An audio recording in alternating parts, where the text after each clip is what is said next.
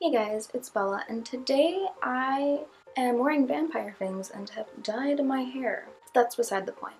I wanted to make a video talking about how I built my emo scene alternative girl wardrobe, and it is something you guys ask me a lot. You ask me like where I get my clothes from, so I thought that I would give you tips and tricks on how to grow your wardrobe. The first thing that I recommend doing is finding your like core aesthetics. So I usually do this through Pinterest. I have um, style inspiration boards where I go through and I break down my style. So in these boards I have different subcategories like pastel goth, cyber, goth, kawaii, and emo scene. And I kind of sort everything out there and that is generally the aesthetics that I stick to. So when I go in for inspiration and I find these posts, I find clothes that you know, I'd like to find something similar or I'd like to find that exact item or outfit and I go from there. So the next thing I recommend after doing, going through Pinterest or wherever to find your like aesthetics, I would check thrift stores. I'm going to be showing you examples of some of the items I've gotten from thrift stores, but a lot of this can be just basic items, whether it's just uh, plain t-shirts or plain like pants. Um, like you'll see like you can DIY them, you can paint them. I also check children's sections. This is because I like a lot of graphic tees and brightly printed things. And I'm also a very small person, so I have the ability to do that where I can fit pretty comfortably in a child's like large. And then um, something that might be a little bit small, that might show off my midriff would be like a child's medium to small. So if you are a smaller person, you're able to do that, I definitely recommend it. So this is actually one of the shirts that I have found locally at a thrift store. I think I found it at a Plato's Closet. And I'm just gonna go and go ahead and show you some of the other things that I have found locally. Here is another top I found at a Plato's Closet, I believe. Actually, my friend got me this one. It's just super cute. I think it was originally from an H&M, but I really like it. Here is another top from a Plato's Closet. This is something that I got when I first started thrifting clothes. Um, it's super cute, it's off the shoulder. I've had it for literally ever. As well as these leggings. They're pink and blue and purple and kind of pastel gothy. Uh, they've got skulls and flowers on them. I also got these at Plato's Closet. Now moving on to clothes I got at Goodwill.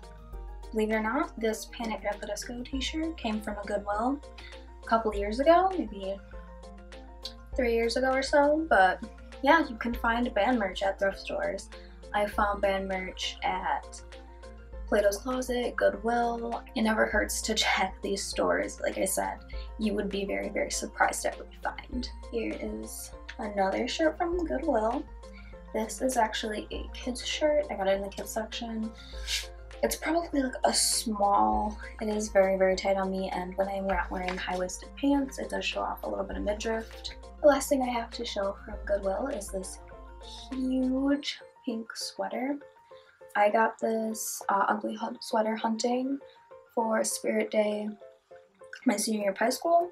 I found this and it was my favorite sweater for a long time, probably until just a few years ago, like a year ago maybe, I stopped wearing it as much. Next I'm moving on to internet thrift stores. This first one actually doesn't come from like a thrift store or secondhand store. It came from Wish. I'm including it in this section because it was a bargain buy. I think I spent like $3 in total including shipping on this so I find that to be an incredibly good bargain. Um, only thing with Wish is that you have to be really careful because the quality isn't the greatest. Even the quality of this is very strange. It's like a weird stretchy material. So you get what you buy for, but sometimes it's worth it. So here's this um, MSI shirt. I have had my eye looking out for this shirt since I found the design in like 2010 probably. I found it on Depop, which is actually a place where I get a lot of my band merch. You can find a lot of like out of print, older band merch So if you're looking for stuff like neon cartoon monster merch, this is your best bet, is to go through Depop. Yeah, so I got this one on Depop. It's one of my favorite shirts. My hair is getting messier and messier from trying on all these shirts. But here is another band shirt that I found on Depop. It's this blue Asking Alexandria one. I also got this yellow Asking Alexandria one. It was bundled. Um, you can find a lot of good deals like that on Depop of people just getting rid of their old merch. And so they'll have like, you know, you can bundle them and save a little bit more. It's a good way to build up band merch. Aside from band merch, I also get a lot of my like older Hot Topic-y type clothes, like the 2000s Hot Topic clothes from there. Here's a shirt probably from like 2009, 2010. It's my vampire shirt. I got this on Depop. I also got this, which is kind of in the same vein of like early 2010s, late 2000s Hot Topic shirts, graphic tees. This one's a tank top, so you can find a lot of shirts like that on Depop. I really recommend it if you're looking for older Hot Topic merch or older band merch. There's a lot of it on there. I got these pink skinny jeans from Depop. I got a identical pair but in blue also from Depop, the same seller. They were bundled together like I mentioned before. You can get stuff bundled together to save money. So I got these ones, they're identical with the rips, just a different color. So that's where I get probably a majority of my like color jeans is from Depop. Sort of the last place I actually do look for clothes is uh, big stores, like, you know, stores like Hot Topic, Killstar, pretty much anywhere like in a mall, specifically because they are like more expensive and it's hard for me to find something that I actually want at one of these stores versus something that I'm like, well, I guess this fits into what I would wear, I'll get it. And the only time I really ever buy from stores like this is if there is something that I'm like, that I really, really want that I can't really find anywhere else. I found that these stores don't really cater to my aesthetics. So I find myself buying there specifically because like these are the stores that are supposed to be what you want. Like when you think of buying emo clothes, you think of like Hot Topic. Buying goth clothes, you think of like Killstar. I personally like to look at the thrift stores and these independent designers first because I end up being pleasantly surprised with that more than what I buy from these big corporate stores. This is honestly one of the few t-shirts I have from Hot Topic. Like I said, I get a majority of my shirts from either Depop or um, independent brands and creators on like Instagram. But uh, I have this shirt, and this is also where I get a lot of my pants. I got these leopard printed ones from there. I've also gotten some shorts, so like the, I've gotten these. And I also bought these pants. Now, a majority of the stuff I buy is usually on sale.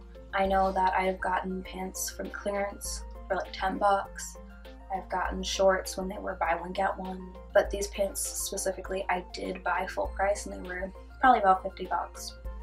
But I had my eye on them for a really long time, probably like a year, and when I saw them in store in my size, I was like, I should just get them. So that's why I ended up buying these and not trying to find them for a better price. So I mentioned that you can find stuff pretty much anywhere you look, and that's true. I mean, I got these pants. They are, they really remind me of like Tripp style pants. They're big and like flared out at the bottom. They're capris. But I got these at a Target, and I also got this uh, owl sweatshirt from a TJ Maxx in the men's section. So definitely look everywhere when you go shopping, not just in women's, not just um, at the stores geared towards your aesthetics. Look pretty much everywhere because you can find stuff anywhere. It never hurts to like browse through these places just on the off chance that you do find something versus like being like, oh well, this isn't marketed towards my aesthetic, my sense of style, so I'm not even gonna bother because you could be pretty surprised by what you find. And finally, um, after you've accumulated a lot of basic clothing items into your wardrobe, you can start introducing things like jewelry and maybe a little bit more intense pieces. So I find a lot of my jewelry from Depop. Uh, I get a lot of you can get like your band bracelets, rubber bracelets, you can get necklaces, um, you can even get like candy and stuff if you're not into making it yourself. I do make candy myself and so I wear some of that. I also get a lot of bracelets and necklaces from Hot Topic. Um, that's like the main thing I get from Hot Topic rather than clothes um, is oftentimes accessories. So that's a good place for that. Other things you can introduce into your wardrobe are like belts at this point. Um, I get a lot of belts, like studded belts from Amazon or eBay. I heard has a lot. I've never bought from there. I get mine from, I've gotten some from Depop and I've gotten some from just like Goodwill. So I thrift a lot of my stuff. So I hope this video helped you guys um, gather some information on how to build your wardrobe and you know answer the questions as to where I get my clothes. Something this does take a lot of time. I probably have been dedicated to building a alternative wardrobe for as long as I can remember definitely the past like three years or so but I know that I have stuff in my closet that I've gotten when I was like you know 13 that I still wear. Really the trick is to always like have your eye out for stuff. You know I find a lot of stuff in surprising ways. I find stuff through thrift stores at like Target Walmart. I've found stuff, I found like designers on Instagram by chance. It's really just always keeping an eye out and always having an open mind as to what you can incorporate into your wardrobe. So yeah, I hope you enjoyed this video and I will see you guys in the next one. Bye.